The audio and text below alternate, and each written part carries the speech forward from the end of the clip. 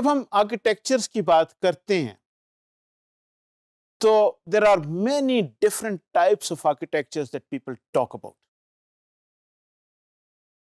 for example people talk about systems architecture people talk about enterprise architecture people talk about enterprise I T architecture और पता नहीं क्या क्या कुछ। आप you just name it and there will be a name associated which would be this architecture, that architecture and so on so forth. तो इसमें जो दो सबसे सिग्निफिकेंट चीज़ें हैं वो सिस्टम एंड एंटरप्राइज आर्किटेक्चर है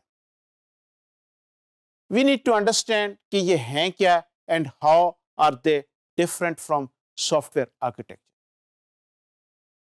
ये system and enterprise architectures they share a lot a great deal with software architectures. ये तीनों तरह के architectures, that is the software, system, and enterprise architecture, they all can be designed, evaluated, and documented. तीनों जो हैं ये काम करते हैं they all answer basically the requirements कि ये रिक्वायरमेंट्स है जिसको फुलफिल करने के लिए ये काम इस तरीके से किए जा रहा है दे all are intended to satisfy stakeholders. They all consist of different types of structures, which in turn consist of elements and relationship. And but each has its own specialized vocabulary, techniques, and scope. ये तीनों इस काम के लिए इस्तेमाल होते जब हम बात करते हैं सिस्टम एंड एंटरप्राइज आर्किटेक्चर्स की ये दोनों जो हैं they are discipline architectural discipline that have broader concerns than software इसका स्कोप दोनों का सिस्टम एंड एंटरप्राइज आर्किटेक्चर का स्कोप सॉफ्टवेयर आर्किटेक्चर से बहुत ज़्यादा है। They affect software architecture through the establishment of constraints within which the system must live and operate तो ये जो हमारा ये जो हैं एंटरप्राइज एंड सिस्टम्स आर्किटेक्चर ये कुछ कंस्ट्रेंट्स इम्पोज करते हैं जिसमें आपको सॉफ्टवेयर उसके अंदर रहते हुए आपको डिज़ाइन करना है और आपने उसमें उसको चलाना है। They are concerned with uh, when we talk about architecture it is concerned with the total system. That is, that includes hardware, software, and human resources. पूरा सिस्टम सिस्टम में है क्या क्या कुछ? It is not just software it includes the hardware it also includes the people who are going to use this software किस तरीके से, कैसे वो सारी चीज़ें, वो भी उसमें होगा।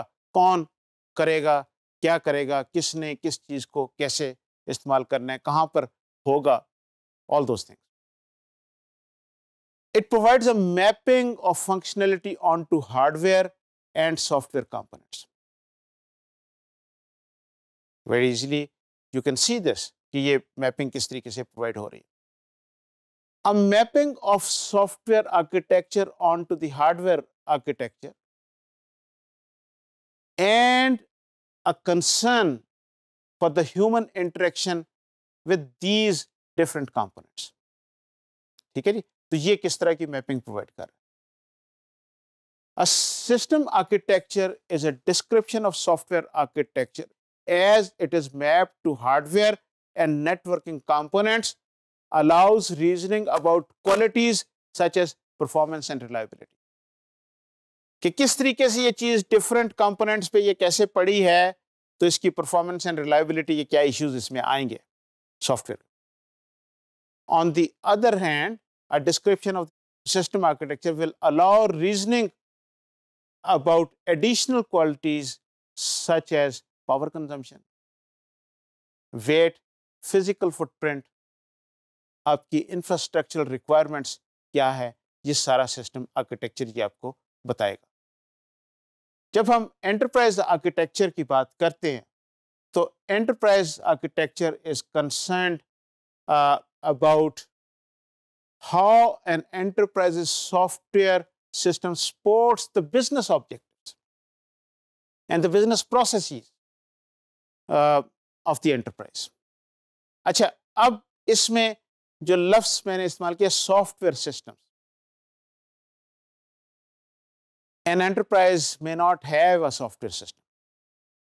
Although आजकल के दौर में it is very hard to conceive कि ये हमारे एंटरप्राइजेस जो हैं, किसी सॉफ्टवेयर सिस्टम के बगैर हो सकते हैं, लेकिन it is not necessary to have software system in the enterprise किसी और तरीके से भी अपने बिज़नेस ऑब्जेक्टिव्स को कैसे अचीव करना so an enterprise architecture is a description of the structure and behaviour of an organisation process information flow personnel and organisational subunits aligned with the organisational core goals and strategic directions.